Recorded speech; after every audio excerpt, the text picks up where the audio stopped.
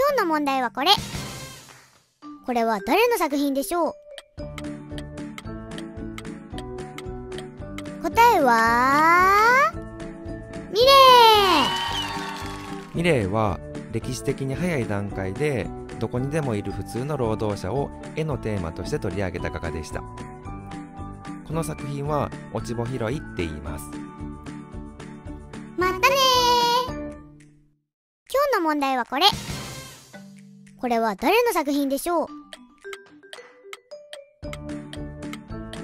答えはドラクロワドラクロワはロマン主義絵画を代表する画家です。この作品の舞台は1830年に起こったフランス7月革命です。タイトルは民衆を導く自由の女神です。架空の自由の女神が民衆を導くという絵になっています。ーまたねー。今日の問題はこれこれは誰の作品でしょう？答えは？フェルメールフェルメールはオランダのデルフトというところに生まれました。はじめは宗教画や歴史画を描きますが、やがて庶民の暮らしぶりを描くようになります。このターバンの青はラピスラズリという宝石をすりつぶして作られたと言われています。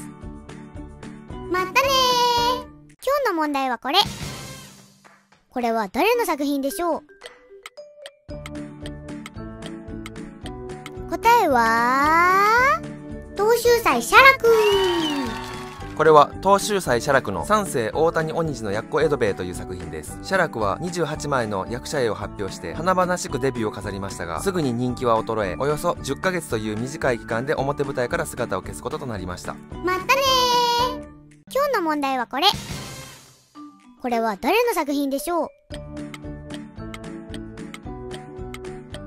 答えはピカソ。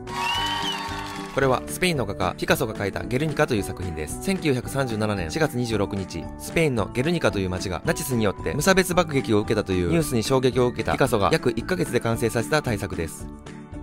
またねー。今日の問題はこれ。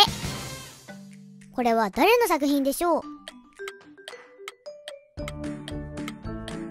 答えは葛飾北斎葛飾北斎は江戸後期に活躍した浮世絵師です。彼は当時まだ珍しかった化学染料のプルシャンブルーを使って印象的な大波を表現しています。これは深く36景の神奈川沖波浦という作品です。またねー今日の問題はこれこれは誰の作品でしょう？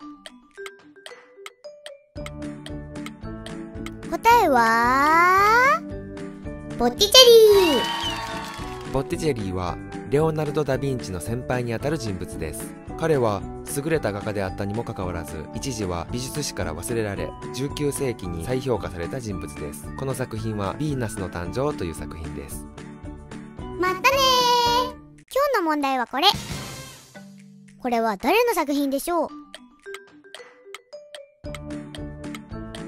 答えはスーラスーラは工学理論を学び線だけではなく点で絵を描く技法を徹底させることでより高い色彩効果を追求しました。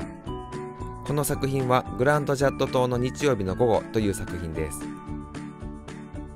またね今日の問題はこれ。これは誰の作品でしょう？答えは？ダリーダリはシュルレアリスムの画家です。この作品は記憶の固執という作品です。ダリが未完成の作品に時計を描き、わずか数時間で仕上げたものです。彼は食べ残したカマンベールチーズを見てこの柔らかい時計のイメージを思いついたと言います。またねー今日の問題はこれこれは誰の作品でしょう？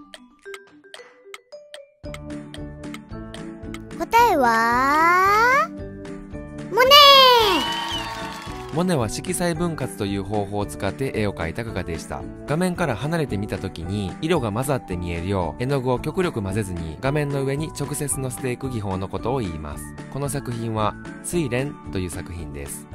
ーまたね